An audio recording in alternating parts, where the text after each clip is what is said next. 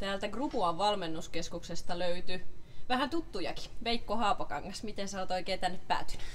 Mä olin eka täällä Vongenin ravikoulussa työharjoittelussa ja sitten nyt ne kysyi mua töihin siitä, tuota, niin sen jälkeen tän, täksi talaveksi ja sitä mä ihmettelin itsekin, että miten mä tänne päädyin, mutta ei ne vissi ihan paskana pitänyt mua silloin, kun mä olin työharjoittelussa, niin ne kysyi mua uudestaan.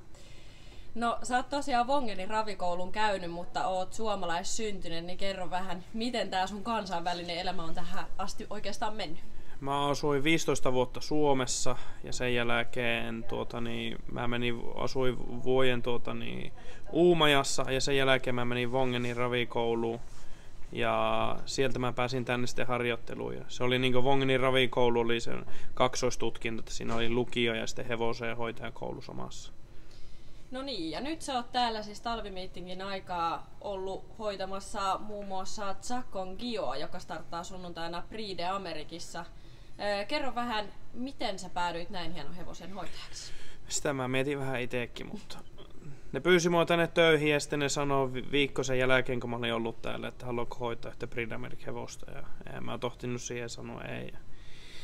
Se on ollut kyllä hieno matka ja on aika hyvä juttu, että ne antaa mulle niin paljon arvostusta. Ranskan kovimpia talleja, niillä on 20 tuota, niin, työntekijää. Mä oon viimeisimpänä tullut sisään ja antaa tuommoisen luottamuksen mulle, niin se tuntuu totta kai aika hyvältä. No 20 työntekijää, mutta kuinka paljon hevosia Jean-Michel Basirilla on valmennuksessa? Täällä Grubuossa on 20 semmoisia hevosia, mikä starttaa paljon Vincentissä. Sitten aina kun ne starttaa, niin sitten ne lähtee takaisin tuota, niin, niiden farmille. Mä uskon, että sillä on suurin piirtein 70-80 hevosta. Sillä ei ole kovin paljon hevosia silti. Ja niitä starttihevosia, mikä Vincent juoksee, on täällä Grubuassa ja sitten myös aina ne Prix hevoset kanssa on yleensä täällä. No jos palataan vielä Zakon Gioon, niin millainen hevonen on oikeastaan kyseessä?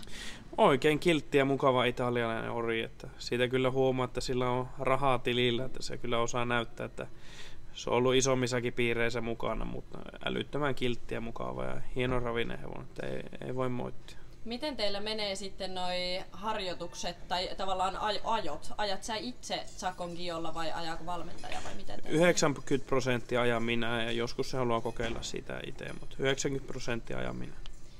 No sunnuntaina on tosi iso lähtö eessä. Miltä tuntuu hoitajana päästä mukaan? On se tietenkin iso juttu mulle, että mä oon vaan ihan tavallinen suomalainen poika sun suolista, että en mä oon mikään maailman kaataja. Niin ne luottaa minuun niin paljon, että totta kai iso juttu. Ja mulla on kaksi passihevosta, mulla on Sakon ja sitten mulla on tuo suomalainen Dastudan Bugi ja ne molemmat juoksee Prix d'Amérique sunnuntaina kilpaa, niin kyllä se on merkki siitä, että ne luottaa aika paljon poikaa. No jos sulta kysytään, niin millaiset mahdollisuudet molemmilla on sunnuntaina? Öö, Bugilla on hyvä chanssi, sillä on, se teki tosi kovan lähön viimeksi. Sen kanssa tohtii toivoa että se on kolme joukossa. Se teki älyttömän kovan lähön ja Jean-Michel ajaa sitä itse. Ja se on aina hyvä merkki Vincentissä. Sakon Joe äh, sai tosi kovan lähön viimeksi ja väsy pahasti. Mutta nyt ajaa Björn Goop ja mä toivon, että se saa nätin lähön. Ja jos se on vien parhaan joukossa, niin meillä on mennyt piru hyvin. Että siihen täytyy olla tyytyväisiä. Että se ei ole semmoinen tavallinen ranskalainen hevonen, vaan se on vähän enemmän italialainen. Ei ole tottunut tämmöisiin isoihin ratoihin suojajuoksulla viiden joukkoon, niin meillä on mennyt tosi hyvin. Jäädään jännittämään, miten käy. Kiitos, kun päästiin Suoveikko tänne tapaamaan ja pidetään peukkoja koko viikolla. Kiitos paljon.